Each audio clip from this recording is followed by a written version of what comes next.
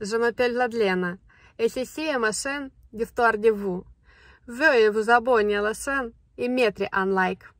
Mardi, oncle Roman est décédé. Cela n'a surpris personne. Il avait bien plus de 80 ans. Une vieille maladie désagréable rongeait son corps. Jusqu'au dernier jour, il tenait grâce aux médicaments.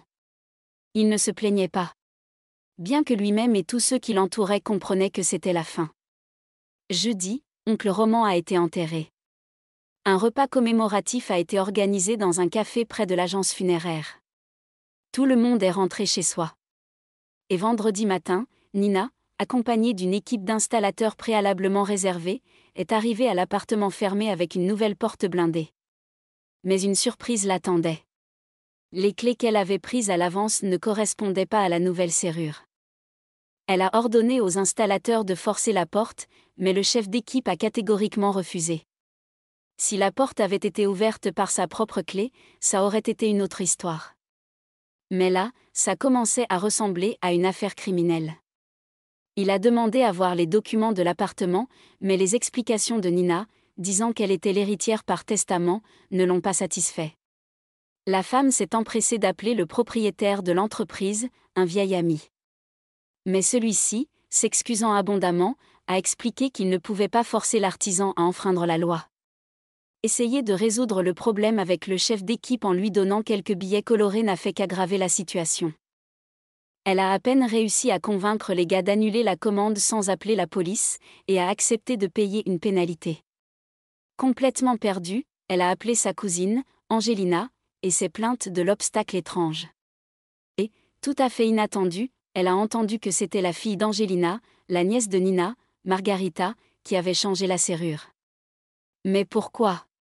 Sur quelle base s'est-elle introduite dans mon appartement?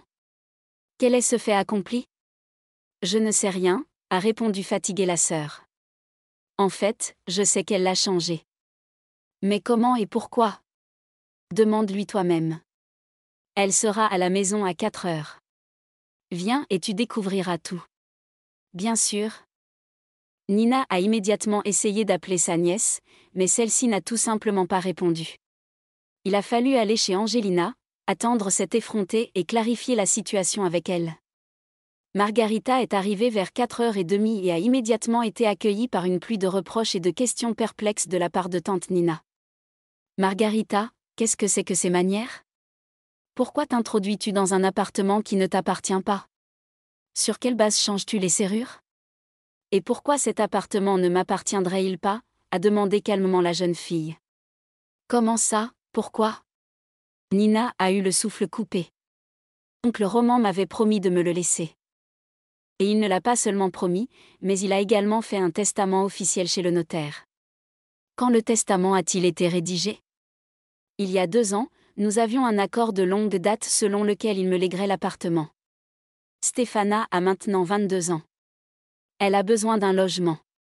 Tante Nina, ma mère et moi sommes tout autant des proches d'oncle Roman que vous et Stéphana. Pourquoi l'appartement devrait-il lui revenir? J'ai aussi besoin d'un logement. De quoi parles-tu, Margarita? Tu n'as que 18 ans. Tu peux très bien vivre avec ta mère pour l'instant. Dans un appartement d'une chambre, a interrompu Margarita. Et que signifie, pour l'instant? Une autre appartement se libérera-t-il bientôt que vous me céderez? Enfin. De quoi suis-je en train de parler? Margarita, arrête immédiatement. Donne-moi les clés et terminons cette conversation. Oncle Roma m'avait promis cet appartement. Plus précisément, à Stéphana. Elle m'a fait un testament. Elle est déjà une grande fille. Il est temps pour elle de se marier, et chez nous, c'est exigu. Eh bien, oui, exigu. Dans un appartement de trois pièces? Oui, dans un appartement de trois pièces, mais nous sommes trois, n'oublie pas l'oncle Yuri. Je n'oublie rien, tante. Et si je suis restée silencieuse, ce n'est pas parce que je suis stupide et que je ne comprends rien. Et ce n'est pas parce que j'ai peur de vos tirades menaçantes, comme ma mère.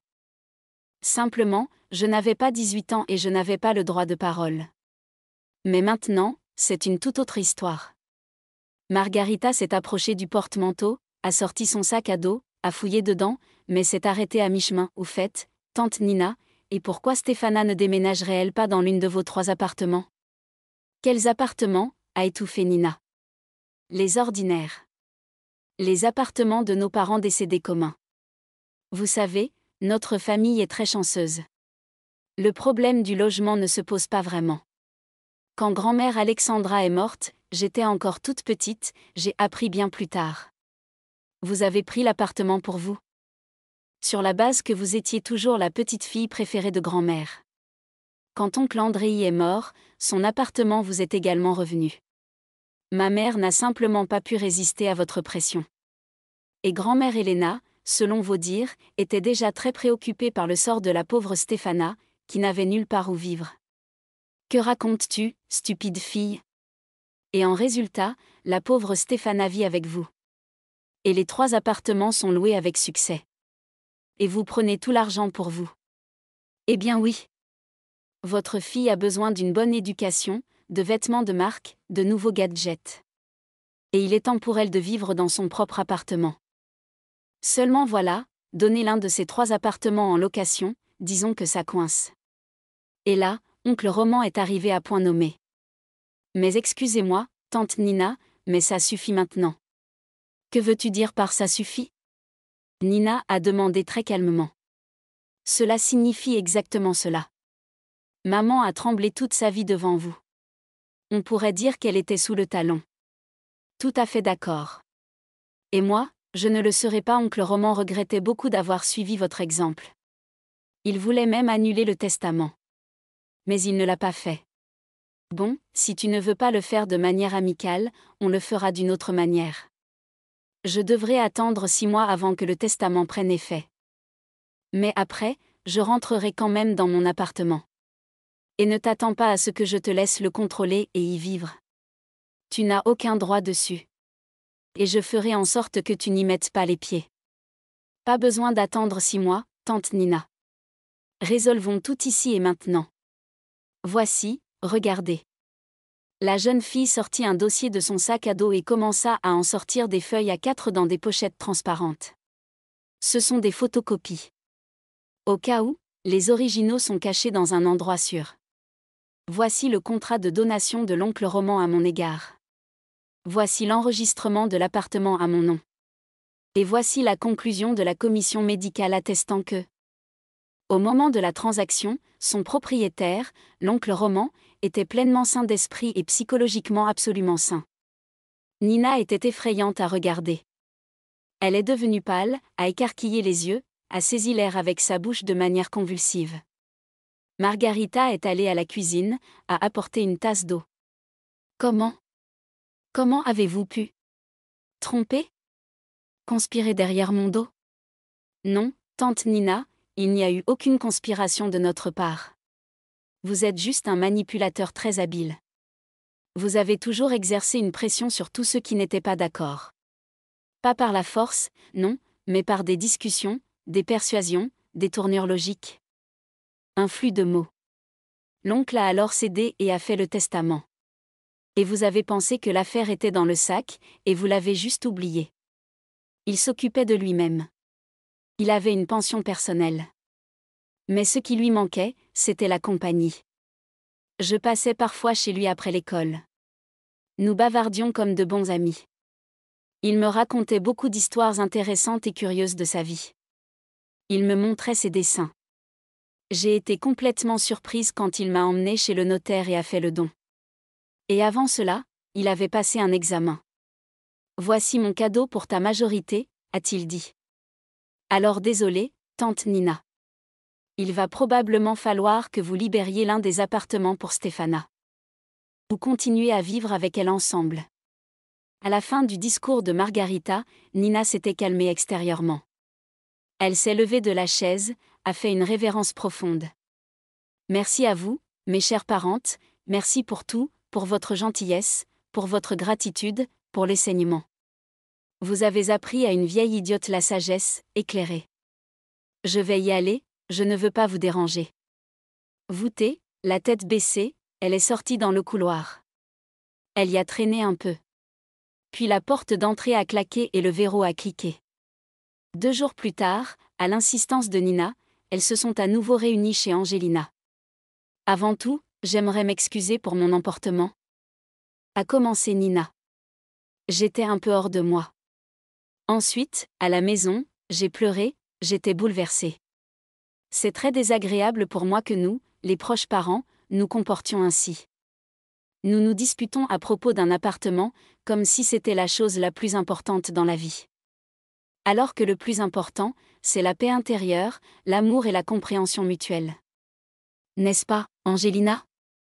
Angelina a hoché la tête en silence et a haussé les épaules. Il lui était très difficile de gérer le désaccord avec sa sœur, à laquelle elle était habituée à obéir et à laquelle elle regardait toujours. De plus, le comportement de sa fille l'avait profondément affectée.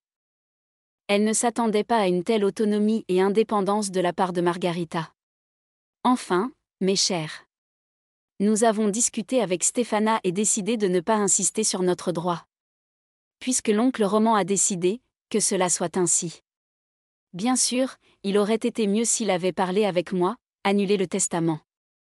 Je ne suis pas une accapareuse sans scrupules. Je souhaite du bien à tous. Nous aurions renoncé à cet appartement en faveur de Margarita. Quelle conversation Margarita a souri sceptiquement, a secoué la tête, mais est restée silencieuse. Mais les choses sont ce qu'elles sont. A continué tante Nina. L'appartement appartient à Margarita, et c'est une affaire réglée. Mais je veux te demander, ma petite, est-ce que c'est vraiment si terrible de vivre avec ta maman? Pourquoi veux-tu l'abandonner? Pourquoi pensez-vous que je veux l'abandonner? A demandé la jeune fille, agacée. Mais tu veux déménager dans l'appartement d'oncle Roman, c'est-à-dire dans ton propre appartement? Comment vas-tu y vivre, toute seule? Tu n'as jamais tenu un ménage, tu ne sais pas vraiment cuisiner. Et tu n'as pour le moment que de petits revenus. Et maman restera seule? Tante Nina, n'exagérez pas. Margarita a grimacé. Premièrement, je ne prévois pas de déménager définitivement pour le moment. L'appartement doit être nettoyé, nécessite des rénovations cosmétiques.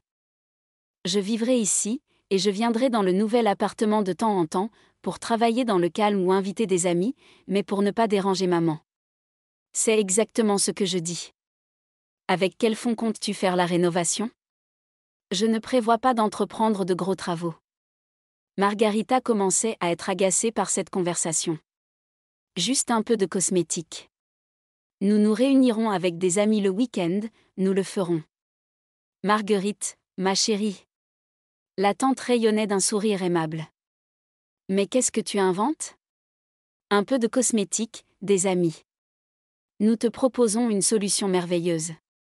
De toute façon, tu n'es pas pressé de déménager. Alors voilà, nous engagerons des constructeurs, ferons un bon gros œuvre. Et pour cela, Stéphana vivra ensuite dans ton appartement. Pas longtemps, juste six mois, jusqu'à ce qu'un de nos appartements en location se libère. Il y a un paiement d'avance, on ne peut pas juste mettre les gens à la rue. Et la jeune fille doit organiser sa vie personnelle. Ensuite, elle déménagera dans cet appartement, et toi dans le tien. N'est-ce pas génial ce que nous avons pensé? Non, ce n'est pas génial et c'est faux. Comment ça, pas génial? Nina avait l'air perdue. Eh bien, ne me prenez pas pour une idiote. Peut-être que vous vous croyez, mais moi, désolé, je ne vous crois pas. Vous ne libérerez jamais ce que vous avez saisi. Dans six mois, il s'avérera que les clients ne veulent pas partir, qu'ils paient très bien. Et il faudra attendre encore. Et de cet argent bien payé, nous ne verrons pas un centime. Ensuite, il se passera encore quelque chose. Et ainsi de suite indéfiniment. Officiellement, l'appartement sera à moi, mais je ne pourrai pas y entrer. Marguerite, que dis-tu? Comment peux-tu dire ça? C'est possible. Clarifions tout une fois pour tout et définitivement. Je ne compte loger personne dans mon appartement. Je le gérerai comme je le souhaite, et non comme vous le voulez. Vous pouvez me considérer comme une petite effrontée qui foule aux pieds les valeurs familiales. Peu importe. Vivez comme vous voulez, mais ne vous mêlez pas de ma vie. C'est tout. La soirée des souvenirs est terminée. Excusez-moi, tante Nina, mais ma mère et moi voulons nous reposer. Le sujet est clos. Il n'y a plus rien à dire. Donc, tu me chasses? Angelina, et toi, tu regardes ça calmement. Nina, s'il te plaît, pars. Je ne veux plus aucune discussion. Je t'en prie, va-t'en. Au revoir, tante Nina. Margarita s'est levée entre sa mère et sa tante.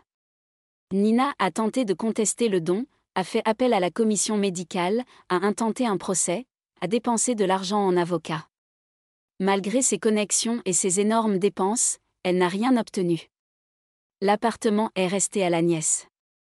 Dans le désespoir, elle s'est adressée à une personne très influente, qui, disait-on, pouvait résoudre n'importe quel problème. N'est-il vraiment pas possible de résoudre mon problème? s'est-elle exclamée. Mais bien sûr que si, a souri doucement l'officiel. Il existe certains leviers. Mais cela coûterait à peu près le prix de trois appartements comme celui-ci. Ça n'en vaut pas la peine, ce n'est pas à l'échelle. Finalement, la cupidité a pris le dessus sur la fierté, et Nina a craché sur l'appartement perdu, ainsi que sur ses parents, avec lesquels elle n'a plus jamais revu ni communiqué. Communiquer. Communiquer.